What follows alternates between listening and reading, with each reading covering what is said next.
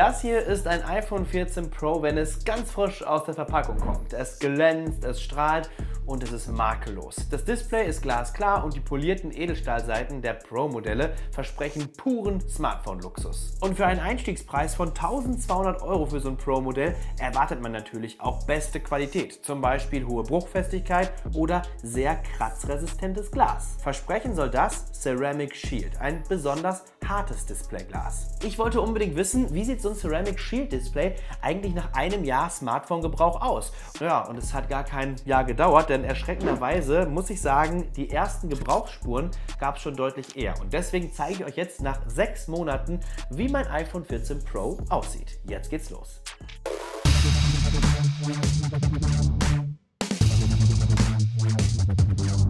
Vorweg, wir haben extra auf einen Sponsor für dieses Video verzichtet und ihr könnt euch sicherlich vorstellen, dass es bei dem Thema ein leichtes gewesen wäre, irgendeinen Case-Hersteller zu placen. Aber wir wollten nun mal zu keinem Zeitpunkt den Eindruck erwecken, dass wir hier extra ein Smartphone zerstört haben oder zerkratzt haben, um am Ende ein Schutzprodukt zu bewerben. Das iPhone, das ihr hier gleich im Detail sehen werdet, wurde über ein halbes Jahr lang sachgemäß genutzt und zu keiner Zeit mit Absicht harten, scharfen oder spitzen Gegenständen ausgesetzt. Hm, aber eigentlich sollte Ceramic Shield doch genau damit überhaupt kein Problem haben, oder?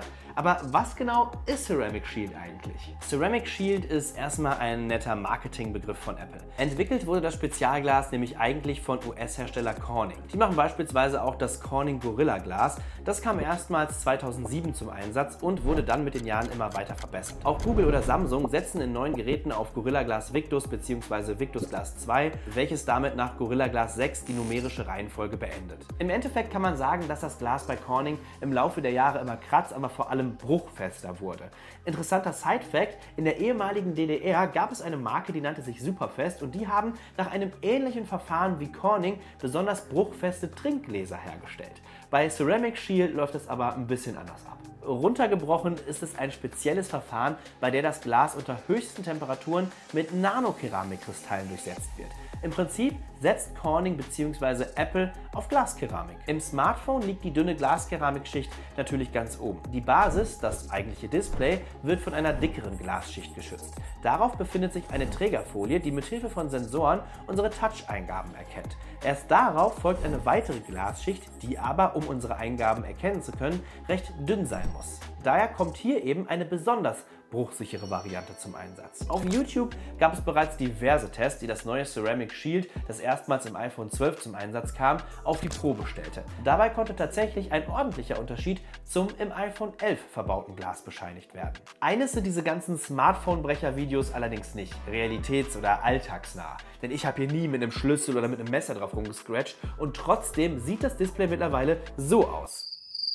Okay, das könnt ihr von da wahrscheinlich nicht sehen. Daher macht es wohl Sinn, wenn wir uns das Ganze mal etwas vergrößert ansehen. Und da braucht man jetzt gar nicht so lange hinschauen, um erste Abschürfungen und Kratzer zu entdecken. Leider zieht sich das auch wirklich über das gesamte Display und genau das, also das, was ihr jetzt hier gerade seht, ist Apples Ceramic Shield. Erstaunlicherweise ist die Rückseite deutlich weniger beschädigt und das obwohl hier gar kein Ceramic Shield verbaut wurde. Und bis letzte Woche war die Rückseite auch wirklich noch makellos, bis ich mir dann aus unerklärlichen Gründen diesen rund zweieinhalb Zentimeter langen Kratzer eingefangen habe, den man noch nicht mehr erfüllen kann. Gespannt war ich aber auch auf den polierten Edelstahlrand beim iPhone 14 Pro. Und hier war ich wirklich überrascht, denn trotz Hochglanzoberfläche kann man nur sehr wenige Kratzer erkennen. In einem bestimmten Einfallswinkel sieht man die schon deutlicher, für die Kamera war das aber so gut wie gar nicht einzufangen. Um es hätte besser zeigen zu können, hätten es schlichtweg mehr und größere Kratzer sein müssen. Lediglich an der oberen Kante über der Kamera auf der Rückseite ist eine unschöne Macke deutlich zu erkennen. Aber ganz ehrlich, man sieht sie auch jetzt hier in Realität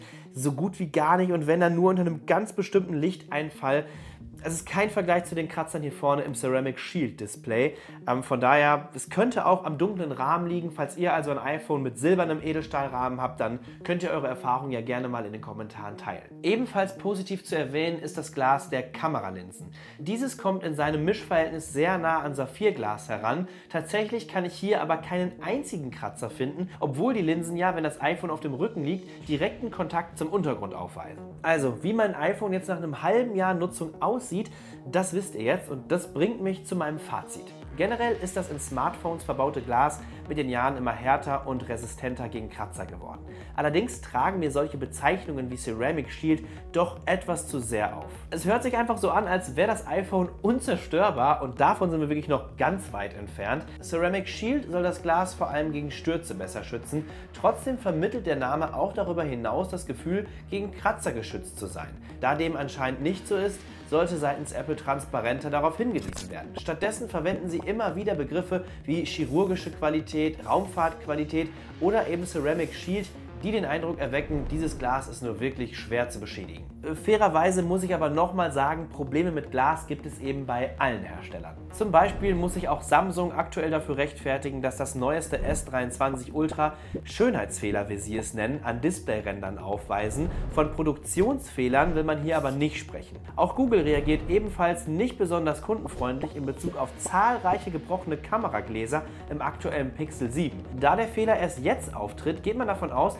dass die gesprungenen Gläser an den niedrigen Temperaturen liegen könnten. Von der Garantie ist dieser Fehler aber momentan ausgenommen. Solche Verarbeitungsfehler weist das iPhone tatsächlich nicht auf, das muss man sagen, aber gegen Kratzer kann auch Ceramic Shield nichts ausrichten. Wer keine Kratzer möchte, der muss es eben mit einer Schutzfolie oder einem Case versuchen und ich weiß, hier scheiden sich die Geister, da eben das Design des Smartphones verändert wird. Ihr könnt ja mal in den Kommentaren verraten, in welchem Team ihr mitspielt. Ich kann mir vorstellen, die Meinungen gehen hier sehr weit auseinander.